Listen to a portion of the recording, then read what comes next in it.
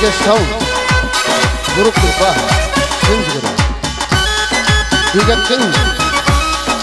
Rajesh Yadav